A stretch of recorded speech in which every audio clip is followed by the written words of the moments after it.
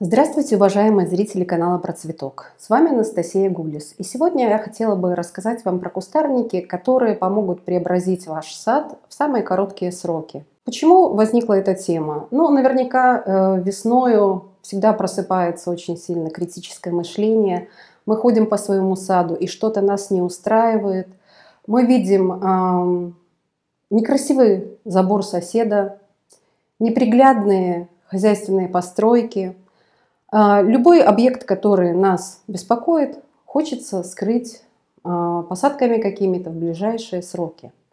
А, можно, конечно, пойти по пути наименьшего сопротивления и обойтись просто высокими однолетними быстрорастущими растениями, но если уж подходить к делу серьезно, то, конечно, лучше создать кулисные посадки из каких-то кустарников, которые будут помогать э, сохранять вашему саду красивый вид достаточно долгое время. Для того, чтобы определиться с выбором таких кустарников, вам необходимо определить тип почвы, который преобладает на вашем участке, а также э, степень увлажнения этой почвы. Естественно, кустарники, которые растут быстро на глинистых почвах, далеко не всегда ведут себя так на сухих песчаных почвах. Поэтому а, всегда это следует брать во внимание.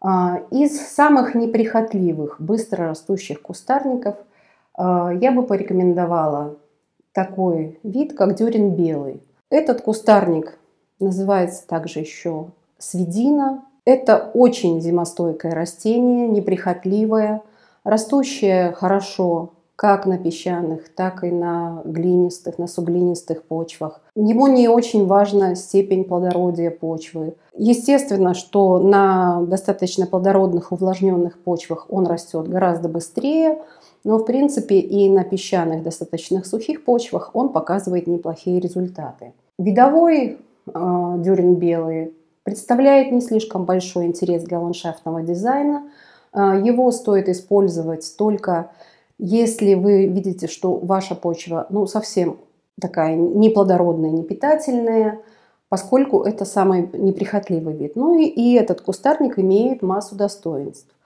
Кроме того, что он быстро растет, он э, обладает очень красивыми, ярко окрашенными, пурпурно-красными побегами, которые могут украсить наш сад э, во время, когда этот кустарник сбрасывает листву. То есть с поздней осени до э, распускания листьев весною. Но если хочется создать какие-то более интересные посадки, которые летом будут придавать дополнительную красоту вашему саду, то можно использовать э, другие сорта этого дерна. Дерен белый элегантиссимо отличается листьями с серебристо-белой каймой. Листья эти чуть мельче, чем у видового растения.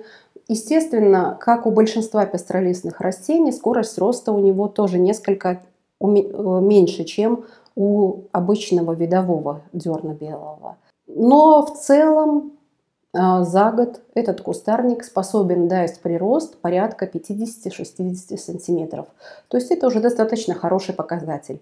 А в целом э, сам сорт на хороших плодородных почвах достигает высоты куста 2-2,5 метра. Ну, на более бедных почвах, э, как правило, его высота не превышает 1,5 метра 80. В принципе, этого вполне достаточно, чтобы достать, э, создать достаточно плотные интересные кулисы. В продаже очень часто встречается э, дюрин белый с, белоокрашен, с, с белой пестротой листьев, который называется аргентео вариегата.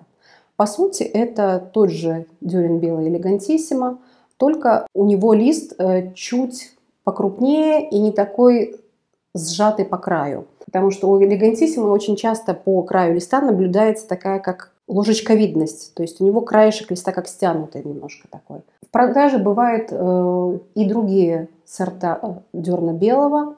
Э, ну, из них чаще всего встречается золотистый ауреа, шпета они, конечно, хороши, они тоже достаточно эффектно смотрятся в саду, но они по сравнению с выше названными отличаются меньшей скоростью роста.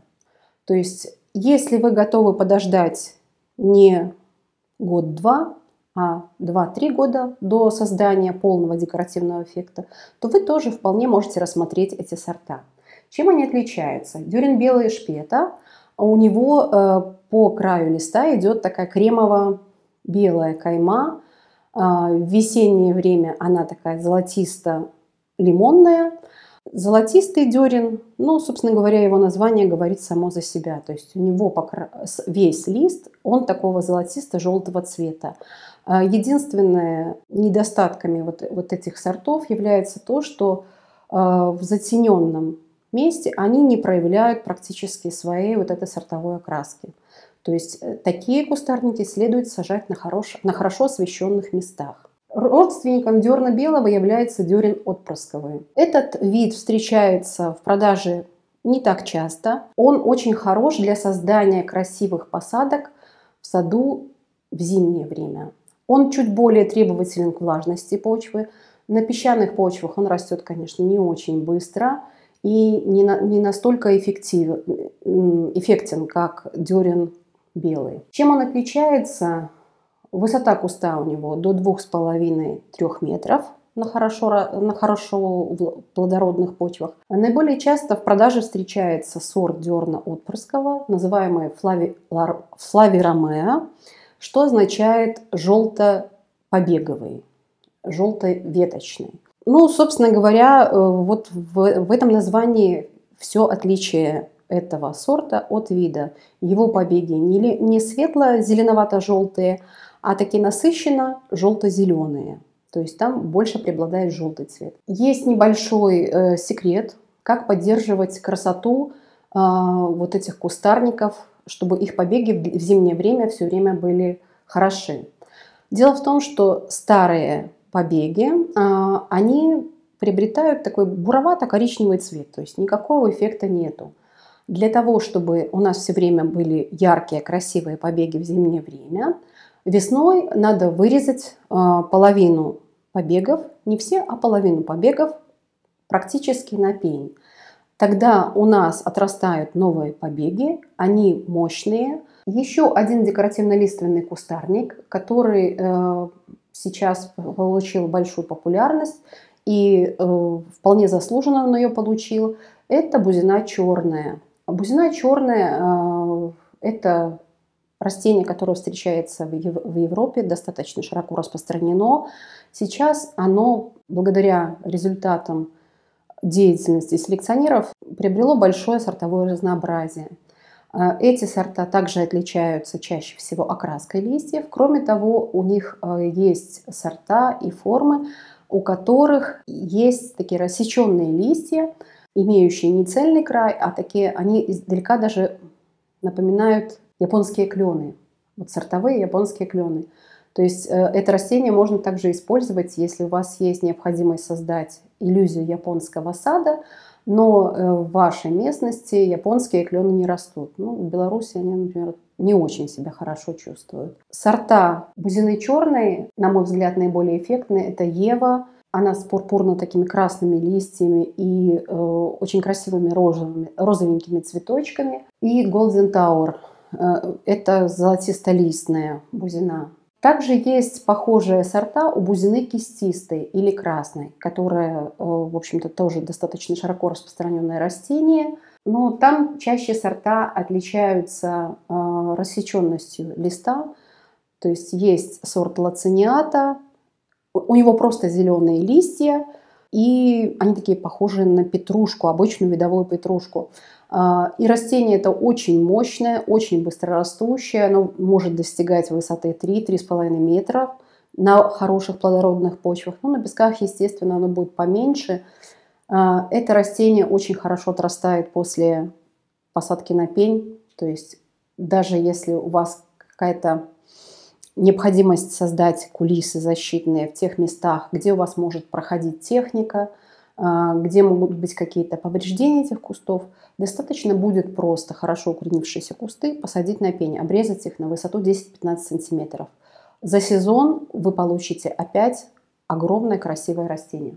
Также из декоративно-лиственных кустарников А, большой интерес представляет такой кустарник, как Стефанандра танаки. Он встречается не часто, но это очень изящный, красивый кустарник э, с тонкими побегами, красиво свисающими. Растет он быстро и отличается ну, совершенно необычным ви внешним видом. Стоит попробовать его в своем саду. А, также быстро растут на плодородных и влажных почвах различные виды ивы – Среди ив есть, естественно, и кустарниковые виды. Но наиболее часто в городском озеленении и на приусадебных участках мы встречаем иву э, изящную сорта элегантиссима. Ну, это растение шаровидную форму кроны имеет. Оно неплохо себя чувствует даже на не очень богатых супесчаных почвах. А, единственное, что оно очень плохо переносит недостаток влаги. А также хорошо растет и быстро развивается а, в умеренной зоне России, в Белоруссии, такая ива, как ива хакурнишики. А, но э, я для лучшего результата рекомендую все-таки брать ее не в привитую форме на штамбе, а именно в форме кустарника, когда она корни собственные. Это растение для того, чтобы поддерживать привлекательный внешний вид – Э, стоит э, ежегодно ранней весной коротко обрезать. Тогда оно за, за сезон приобретает очень красивую пышную листву и наиболее ярко окрашенные ее листья. Конечно, нельзя ограничиться на приусадебном участке, участке э, только посадками э, декоративно-лиственных кустарников. Но э, есть, конечно, ряд кустарников, и среди красиво цветущих, которые тоже заслуживают внимания именно как быстрорастущие кустарники. Если вам интересна эта тема, а, спрашивайте комментариях, возможно будет записано еще одно видео на эту тему. А, а на сегодня я хотела бы с вами распрощаться. С вами была Анастасия Гулис на канале Про Цветок. Подписывайтесь на наш канал, ставьте лайки. thank you